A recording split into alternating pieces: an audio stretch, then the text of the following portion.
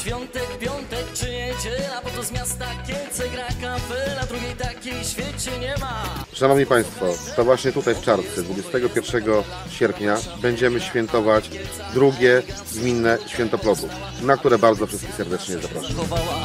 Oto jest, bo to jest ta kapela, która tu nowe ścieżki otwiera. Oto muzyka nasza ludowa, też po nowemu